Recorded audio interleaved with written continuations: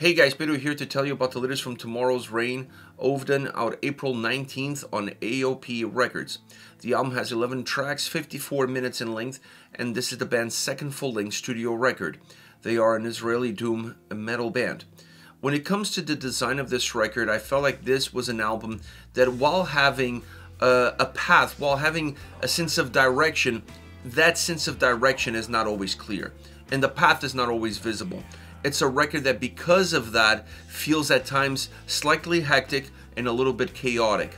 You really have to work uh, and dig deep in order to find your best way uh, across this album, find the best way to navigate these 11 songs uh, and find some light at the end of the tunnel. It's not always going to be easy. It's not an easy record to digest, to process, to navigate through, but it's an album that definitely has a lot of quality in the individual songs that it puts together.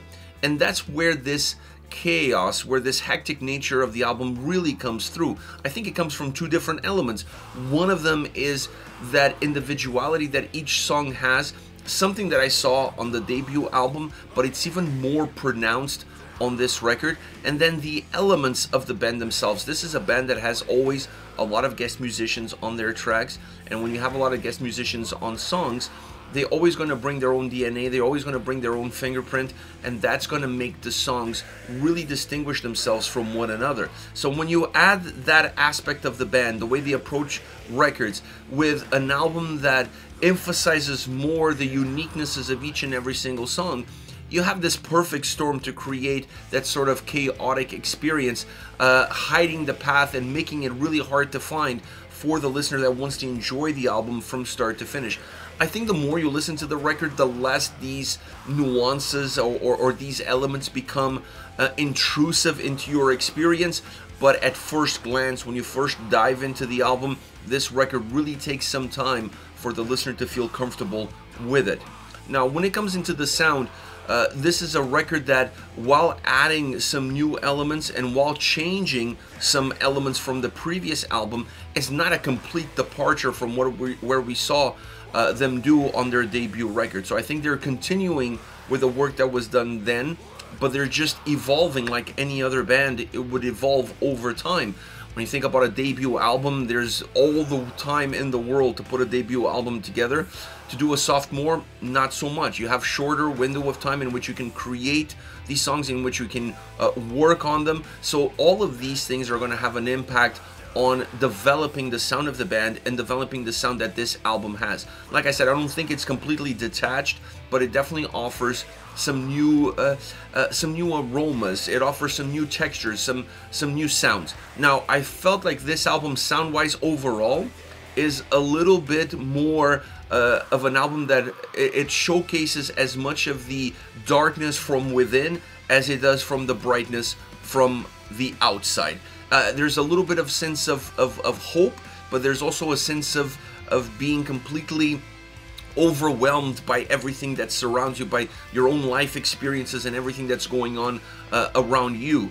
Uh, the debut record felt a little bit more of that. It felt a little bit more uh, that it was collapsing uh, on itself. This album, while having moments where the album really feels like it's collapsing on itself, it still finds ways of, of being a little bit brighter, being a little bit bigger, a record that has a slightly larger volume, uh, maybe a little bit more texture as well at times, and definitely more guitar focus. I feel like this is an album that sound-wise really lives off of the guitar sound, the nuances of that same guitar sound, and the overall uh, range of emotions that comes from the different attributes that the guitars give to this album. Either be going with an acoustic sound, either be going with a more melodic, uh, rock, gothic sound, or even bringing some more distortion in, uh, a slight fuzz to the experience, creating a little bit more uh, thickness to the way the guitars come across, and with that thickness definitely comes some heaviness. So it's an album that guitar-wise has a lot of life, has a lot of movement, it's very rich and the guitars really become the common not the common denominator in terms of being equal across each and every single song, but the common denominator in terms of what drives the experience and which is the element that has the biggest impact on the overall sound experience. Another element that I really enjoyed uh, on this record was the bass. I felt like it popped quite a bit throughout the record. It's super noticeable, but not noticeable in a negative way. It's noticeable in a way that adds emotion, that adds a little bit more uh, it, it, adds a different type of uh, of experience to the way the sound comes across. I think it helps define the atmosphere and the emotions in each and every single song. I thought the bass on this record when it popped that much it didn't it didn't really change the heaviness it didn't add groove it didn't do any of that it just created a different type of atmosphere. It enhanced the darkness of some of the songs, but more often than not, it helped define what the emotional experience of the tracks were all about.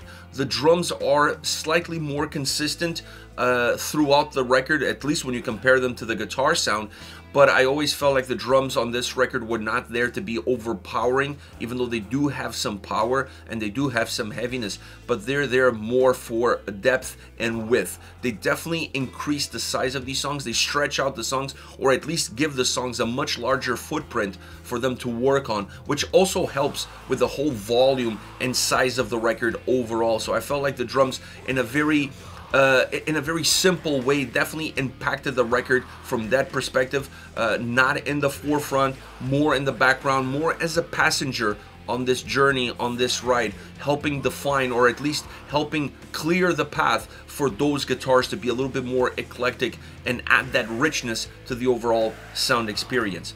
Now as far as the vocals are concerned uh, and guests I mean there's quite a few guests on this album not just guest vocalists uh, guest musicians in general, like Michael Denner from King Diamond, Mercyful Fate, Attila of Mayhem.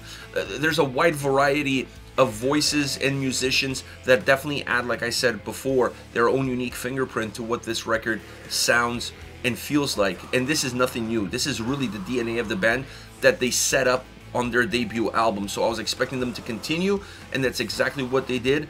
And it, it, it becomes part, uh, part and parcel of what Tomorrow's Rain uh, is all about. But I also really enjoyed uh, Yishai's uh, vocals. He has a great delivery, he has a great voice. He felt more connected on this record than on the previous album. Definitely more emotionally driven uh, and definitely more emotional in terms of how he he uses his voice to convey the lyrics, the message, but more so the emotion that's represented in the sound of the songs. I, I, think this is an album that is definitely a lot more personal to him. Not that the previous one wasn't, but this one is a little bit more personal to him, and he couldn't hide it. That really came across in his delivery, and that has a very unique impact on how these songs uh, come about.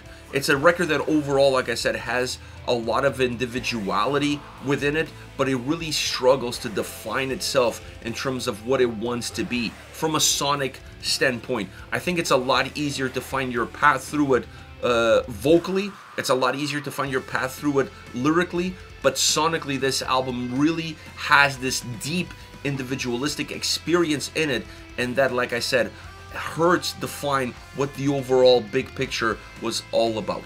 Now, as far as favorite songs are concerned, uh, I want to start off with Room 124. I love the opening riff on this track, and then it moves into a more uh, methodic guitar sound that starts to drive the experience of the track.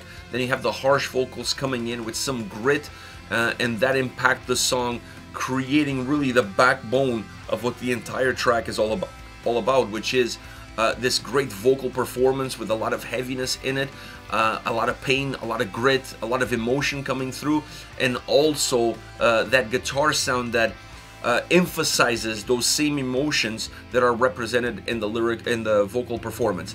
Now, it's a track that has this mist of heaviness uh, throughout that never really disappears outside of a little pocket within the song where there's a little bit more clarity. It almost like uh, the light, a very thin light at the end of the tunnel opens up before that same light, that same dim light, becoming completely engulfed again in the overall darkness that this track offers, both musically and vocally. Uh, another track that I really enjoyed was Burning Times featuring Jan Lubitzki of Depressive Age. Uh, the bass sound on this song is outstanding, really pops uh, and it has a, a, a, very nice impact, not just in the sound of the song, but in the mood that that same sound creates for the track. The vocals uh, feel hopeful at time, but they also offer a little bit of a dark embrace. The vocals on this track really have this ability to create two very different experiences depending on the range, on the tone, clean vocals, harsh vocals. The duality of the vocals on this track are really important in order to define that movement between light and darkness that's constantly battling one another throughout the entire track from beginning to end. Uh, the guitars on this song are the ones that, in my opinion, best transmit the emotional baggage that the track has, more so than that dynamic between the two styles of vocals. Last but definitely not least, Turn Around, featuring Michael Denner of King Diamond Mercyful Fate. Uh, very guitar focused track, as you would expect coming in, considering the style, considering the song, considering who's on it. Uh, it's a track that has a very powerful and rich guitar sound from beginning all the way to the end. Very melodic, uh, very driven, a song that has this uh, goth rock vibe at times, and then also increases in, into a more heavier sound, but it never really becomes overly heavy. It's it always has this melodic undertone throughout, and that becomes the backbone of the track, and that backbone is really uh, on the back, if you will, of the overall guitar performance that takes uh, that takes control of this track, offering a lot of diversity, offering a lot of texture, and then definitely being the element that uh, surpasses all others and becomes the focus of the listener's attention from beginning all the way to the end. Exactly what you would expect from this song, and that's exactly what this song delivers.